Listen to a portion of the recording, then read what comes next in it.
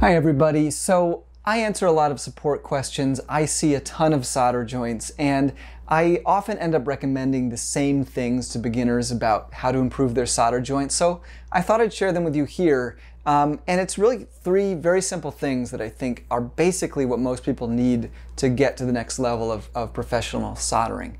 Uh, the first is clean the tip more than you think you need to. The second is heat the pad longer than you think you should. And the third is use less solder than you think you need to. Uh, so I'm going to go over those one by one real quick. So the first, cleaning the tip. The way we clean the tip is with solder.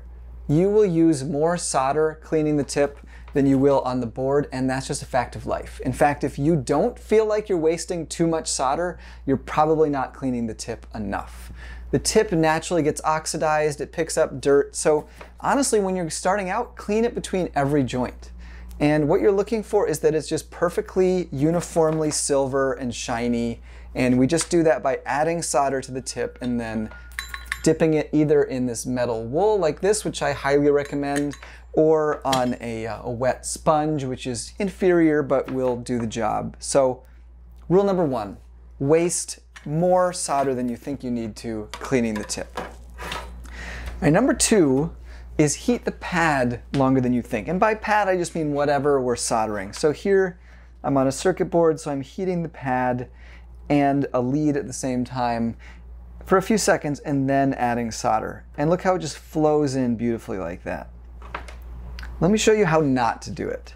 And that's to add all both the solder and the tip at the same time.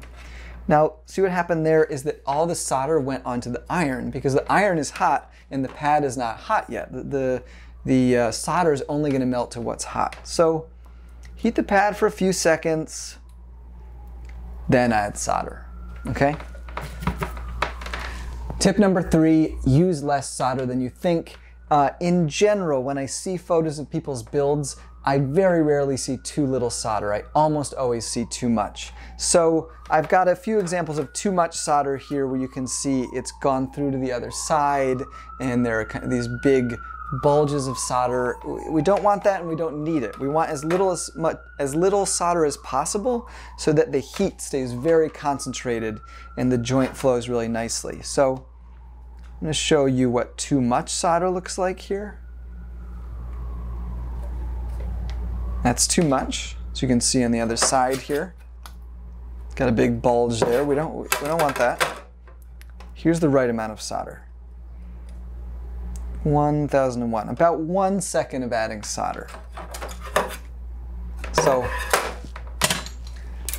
so these tips are really about recalibrating your instincts for soldering. Clean more than you think you need to. Heat the pad longer than you think you need to before you add solder five to eight seconds. And then three, use less solder than you think you need to. Keep these things in mind, and I guarantee your solder, solder joints will improve. Uh, soldering will be more fun, more satisfying. Yeah,